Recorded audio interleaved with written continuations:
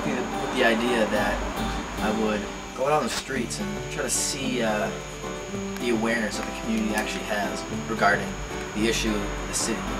Really, my purpose is to go out and see the positives and negatives that the services of the city provide for the homeless youth. I'm gonna go out and try to make this as real as possible. So it's gonna be cold, it's gonna be a struggle to figure to find a place to sleep. It's time to start. And we'll see what happens. But already cold out, the sun's going down, it's like 45 degrees.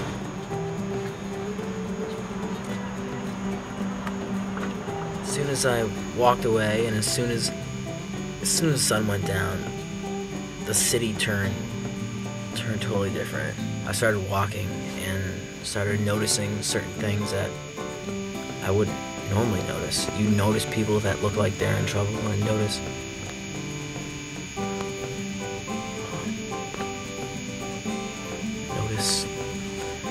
they have issues.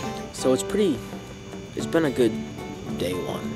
Definitely more eventful than I thought it would be. Frightening to say the least. But at the same time, pretty educational to hang out with Ray, the homeless guy who's been in Manchester for 33 years. He started walking towards my direction. I was like, I wonder if he's gonna walk by me or not. And that's kind of how I felt the whole night. Like you walk, you're walking down the street, minding your own business, and I mean, you don't know if that person that's walking by you is gonna say something. You have no idea, and that's the worst thing.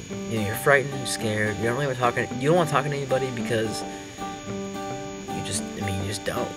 He actually he dropped uh, New Horizons as the uh, shelter. He didn't like the shelter. He said the shelter sucks. They're not nice to him. Um, but I think I'm gonna go there now uh, to try to get a blanket. He said if I go ring the bell, they'll give me a blanket. He said it's a pretty awesome blanket. It's a wool blanket, and um, I think that's the smartest thing for me to do, considering I'll be sleeping outside anyway. All right, got a sleeping bag, as you can see right there. I asked for a blanket. He said, "Let me get you a sleeping bag with no questions, nothing. Just went and got it." I'm actually at Central High School right now. Uh, a couple stores that are still open on Maple. That place and Domino's. Ray probably helped me a lot tonight. Uh, he told me New Horizons wouldn't turn me down, and he was right. All right. Um, I was just awoken because I had to pee, and because it's seriously cold out now. Well, I can't even begin to tell you how thankful I am that the sun's out. It was freezing last night. It wasn't too bad until probably about 5 a.m. when I woke up and turned turned over and realized that the school lights were on and realized it was time to go. Now day two is here and this is where the real stuff happens. I gotta figure out where I'm gonna eat, how I'm gonna eat, uh, where I'm gonna sleep tonight. So I just went to uh, New Horizons, which is the shelter around here. Went with the story that got kicked out of my house, 19 years old. I noticed on the door that if you don't have your ID, you're pretty much screwed. So I went with that. Um, told them I didn't have my ID, and they pretty much couldn't do anything for me. Uh, I must say, the lady Pam, Pam there, she was an awesome lady and was willing to help me in pretty much any way. Again, they just need verification that I'm indeed 18 or over, and I don't have that on me, so I can't stay there. But they're pretty adamant about not being embarrassed, not feeling scared or getting in trouble. They just didn't want me to sleep on the streets again. So she was going to direct me to um, Child and Family Services. I promised I'd go.